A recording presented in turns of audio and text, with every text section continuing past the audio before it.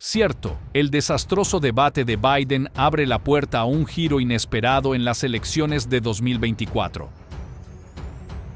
El impacto del debate entre Biden y Trump ha sacudido la política estadounidense como nunca antes. Lo que comenzó como un enfrentamiento televisado de 90 minutos se ha convertido en un punto de inflexión crucial para la carrera presidencial.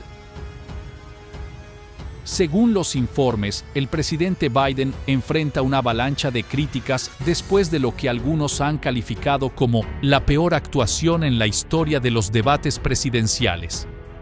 Incluso aliados de toda la vida como el columnista del New York Times, Thomas Friedman, han sugerido públicamente que Biden debería considerar abandonar la carrera. En respuesta a la creciente presión, figuras destacadas del Partido Demócrata, incluido el líder del Senado, Chuck Schumer, y antiguos colaboradores como Barack Obama, han insinuado discretamente la posibilidad de un cambio de rumbo. Sin embargo, la decisión final recae en Biden y su círculo íntimo de asesores, quienes han mostrado una lealtad sin fisuras hasta ahora.